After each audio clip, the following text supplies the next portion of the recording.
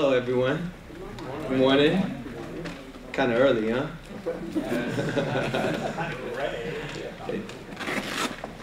oh, wow. Well, I'll say first of all that my most important identifier is Malia's papa. When Malia, she's my eight-year-old daughter, was about two weeks old, her mother put her on my chest and she just kind of snuggled up put her head right under here. It was, it was almost like she was a little puppy. I just at that point fell deeper in love than I'd ever been with anything.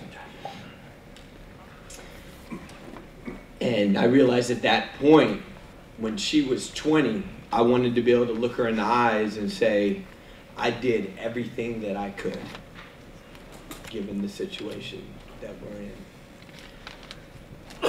So when I heard about the the reactor problems in Japan and the meltdown, you know what the first thing that went through my mind was, right? I was concerned about my daughter. That was the first thought. And being a, a single father,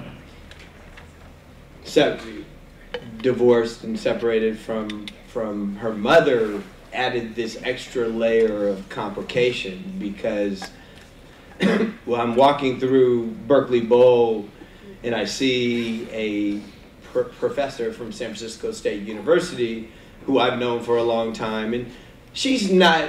She's, I guess she's a little radical in some ways. She's not as radical as probably I might be.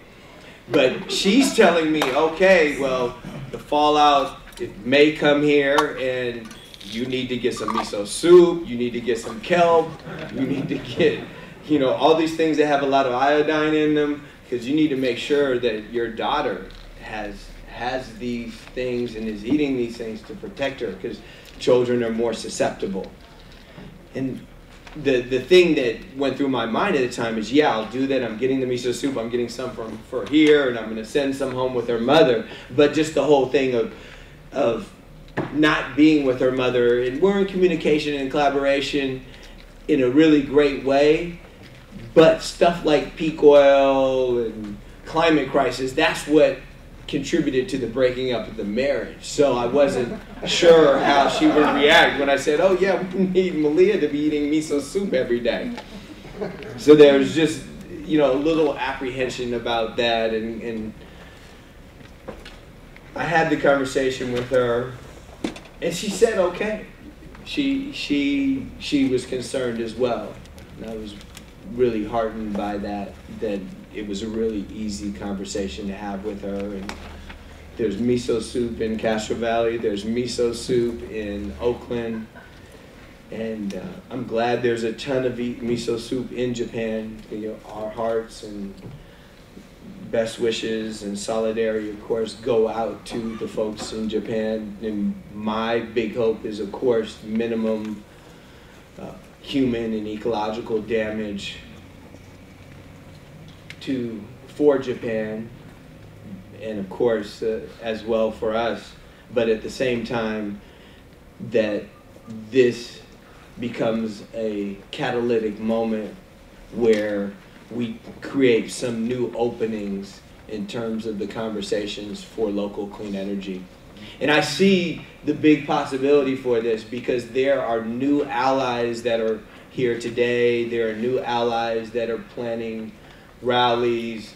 There are new allies that are now saying we don't want PG&E to be able to relicense the Diablo Canyon power plant, which is less than a couple miles from a fault that we, we just found that out in 2008.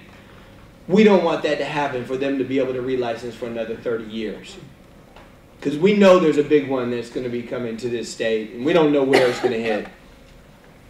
There have been a number of us who've been talking about nuclear for, for years, and we've been saying, you know, it's not cost effective, it takes way too long, it uses too much water, it's a possible terrorist attack, and it's also could be a problem if there's an earthquake. We didn't know when when things were going to happen, of course. and they have happened. They haven't happened here yet. So for our children, for ourselves, it seems like an imperative to make sure that we're not going to set ourselves up for having this technology continue another 30 years when there are so many amazing alternatives sun, wind, pedals, waves, distributed, decentralized energy options. We can do them, and they will never melt down. So I'm really pleased to be here with all of you talking about the solution. One of the important pieces of the puzzle for us to transition to a new way of living on this planet. I've been the coordinator of the Local Clean Energy Alliance for about three years now. It's an alliance of over 70 nonprofits and local businesses. There's even one government agency that joined the alliance earlier this year as well. We, you can go to the website and find out about all the members. I'm really proud to be joined here by a number of people from our steering committee. Could the steering committee members please stand up? Kristen Schwinn, Aaron Lamer, Rory Cox, Al Weinrub, Yee, Larry Chang. He's in the back. Okay, and Zigam Kabir. Okay, so these are the people that have joined me.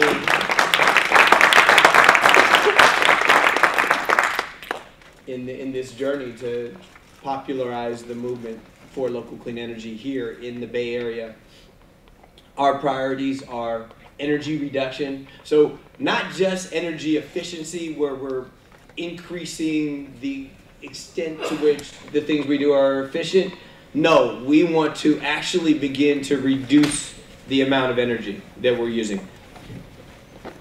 The other thing is local decentralized uh, power and local control of our energy systems.